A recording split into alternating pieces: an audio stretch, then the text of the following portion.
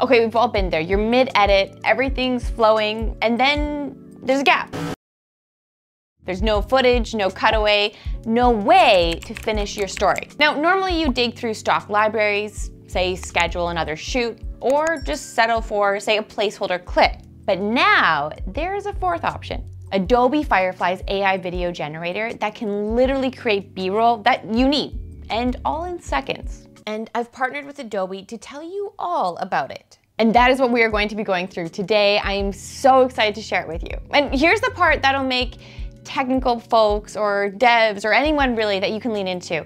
You can access the industry's top AI models all in one place. So whether you choose Adobe Firefly's own diffusion backbone, or say a partner model that's tuned for cinematic realism or stylized motion, you pick the best model for the job. Now, this is a glimpse of how Gen AI is rewiring the entire video pipeline. So why does B-roll with AI matter, first of all? Well, B-roll is the invisible glue, if you will, to editing. I mean, it smooths transitions, add, adds context, and sets the mood. Even without it, even the strongest A-roll feels unfinished nowadays. But getting great B-roll takes time. I mean, budget, travel, and sometimes the shoot just doesn't even, can't exist. And that is where Firefly's AI video generator changes everything. You can type what you need, let's say slow motion rain on glass at dusk, that's very specific. And Firefly will generate it. It's like autocomplete for your timeline, but instead of predicting words, it will predict pixels. And the result is faster workflows, fewer bottlenecks, and way more creative freedom. So let's talk about a little bit about how Adobe Firefly works. I mean, how is it actually able to do this? So let's go under the hood. When you enter a prompt, Firefly will then tokenize your text. So basically breaks down the sentence into numerical vectors that capture meaning. Those embeddings feed into a diffusion model. And it really starts from pure noise, if you will. It refines each frame step by step until it matches your description. That's why motion looks really natural and the model can actually learn how objects should move or evolve frame to frame. Then comes enhanced prompt. This is one of my favorite features. So this automatically expands your idea into a richer cinematic description. When I click on Enhance prompt, I'm always blown away by how detailed it is. You can kind of think of it like a prompt compiler that will enrich the token space before the next generation. Next is model choice. Firefly gives you multiple AI models, including partner ones each tuned for a different creative domain. This really allows you to choose the model the same way, say, developers or technical folks pick, say, checkpoints for a specific task. And finally, the parameters. Style, mood control, they control the visual tone. All right, that is enough of me, enough of theory, enough of technical theory. I know, I know we love to kind of understand how things work. Let's now see this in action. I'm gonna use Adobe Firefly's AI video generator to make three different clips. One, I want it to be simple and realistic. One, I want to be cinematic, and one that's totally impossible to capture in real life. I think that'd be really fun. All right, Let's go do it. Okay, you can see now we are in Adobe Firefly and we are going to start by doing text to video. So let's go here, select text to video, get started. And okay, we're gonna do something. So obviously being in tech, making a lot of tech videos, there, there's B-roll, you know, technical B-roll I wanna do or, or more around the tech side. So let's do something hands typing on a keyboard see what happens with that. That is a difficult one because AI generating hands, as we know, is more of a challenge. So let's see how it does. Let's start by leaving everything as is, the general settings, uh, the motion, the style. Let's just see what it comes up with with a very, very simple prompt, and then we'll go from there. Okay, we are checking this out first time together. Let's see. It's so good, I'm so impressed. That's impressive. Hands, close up of hands. You know how difficult it is for AI to generate hands and these, this is the detail. It's kind of like, uh, you know, you can see it's kind of, what is the word? Soft in the background, if you will. It's, it's incredible. All right, let's keep on going here. Let's do what I spoke about one of my favorite things is, which is enhanced prompt. So let's just click on enhanced prompt.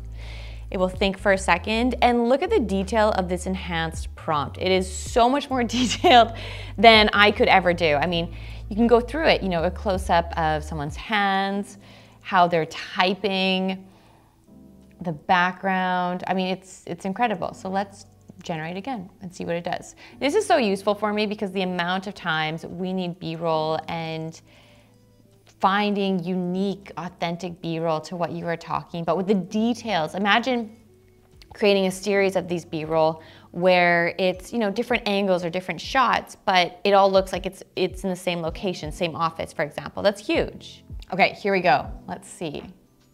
This is even better. The detail is incredible. You see what I mean? You can really do a whole storyboard with this, with, okay, now let's take the background part of it here. We can copy and paste that prompt about the background into another prompt and say it's a far, a further away shot, etc. Do you know I mean? Like you can really get into the details here. Now let's play around with some other things here, because I'm not sure what we want to commit to yet. Let's do some motion. Let's do zoom out and style. Let's do the style cinematic okay? And generate. This will be another way too to have co cohesive or consistency throughout the entire video with this B-roll is by selecting the same motion, style, uh, you know, really trying to make it so it feels consistent regardless. Because I think one of the biggest issues I have with B-roll right now is you're trying to tell a story, a full picture, and using static or kind of outdated B-roll, it's like, okay, there's one random shot here, one random shot there, and it doesn't help tell a story. It kind of almost takes away from it. And to really get your story across by generating B-roll with AI. This is so good. I'm blown away. I'm so pumped about this. Okay, let's clear this now. And I wanna start, I, I, mentioned before I wanted to do three prompts. So let's do another one. This is another one where it's a drone shot. So very different than you know this first shot of hands close up that we're using. Drone shot over a futuristic skyline at sunrise. Okay, let's see. This is cool. I, I this is this is like my real time. You're getting real time Tiff reactions. I'm just I get so excited about the possibilities that this brings for storytelling. Quickly though, I want to do enhanced prompt because I'm just really curious to see how this could even be better. Generate. Okay, let's see. Okay, this reminds me of a futuristic setting that you would see at the beginning of maybe a, a sci-fi movie. This is amazing. Okay, also too, as I mentioned, you can have select different models. So for this one, I am testing and playing around with Firefly video model. But there's other ones as well here you can see, which is great as you know you want to have a different style to it or see what another model might produce just to get a variety of different things. All right, we need one more prompt here. We need one more prompt. I want to film something or create something that is impossible almost impossible for you know us to create. Let's get creative with it. Glowing data streams weaving through a circuit board like city traffic. I don't know. Using AI to help with these, these type of things, generating different videos, I feel like I always get really creative because you know there are so many possibilities. I would never be able to generate any of these on my own. I, I don't have the resources, I don't have the time, etc. So now being able to do so, you get really creative really quickly. Okay, let's see. I'm very excited about this one. This is so good. Okay, this is my favorite one. This is epic. Glowing data streams weaving through a circuit board. I mean, come on. Think about all the ways you can now tell your stories for educational purposes, marketing purposes, the list goes on. Okay, I hope you enjoyed going through that. I mean, you can literally use Firefly's AI video generator for almost any type of content, from educational videos, create missing cutaways or diagrams, I mean, travel pieces, could definitely go on a trip right now. Generate transitions or shots you couldn't capture. I mean, the list goes on when you think about different marketing, different products, or if you're a business owner. It's really incredible for storytelling and setting that tone, that mood. And it's really not about replacing cameras. What it really is about is removing, as I mentioned earlier, these bottlenecks. So whether you're a one person team or a 20 person team, you can scale, you can focus and keep on moving quickly.